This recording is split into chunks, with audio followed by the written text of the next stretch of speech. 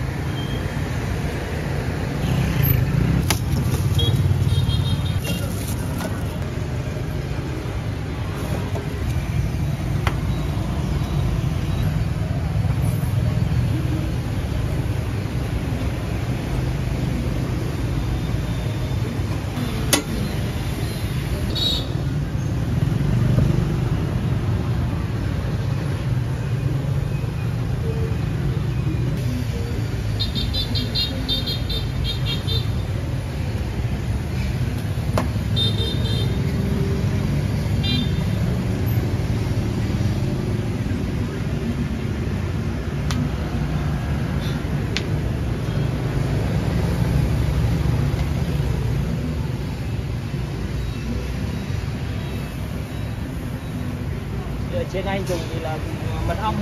Mật ong. Dùng dầu điều. Đường kìa. Vị đậm đà hơn. mật ong thì nó kích hơn. Nhiều công đoạn hơn ở dưới này chắc các cụ thích ăn kiểu màu đẹp anh nhỉ? Màu đẹp. Mật ong thì nó không được đẹp bằng. Nhưng mà hương vị chắc là ăn ngon hơn. Nó thơm hơn. Ở đây thì cũng phải đẹp trước đã. ngon mắt rồi đến con miệng